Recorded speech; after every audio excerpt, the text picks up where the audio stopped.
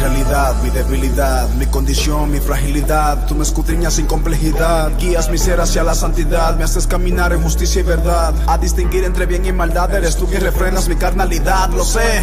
Elegiste mi cuerpo como tu morada, lo que para nada merezco. Eres la marca y el sello divino que dice que a Dios pertenezco. Me unges, me abrazas, me llenas de esa completa satisfacción. Pero apenas ahora comprendo el gran porqué de tu visitación. No has venido solo a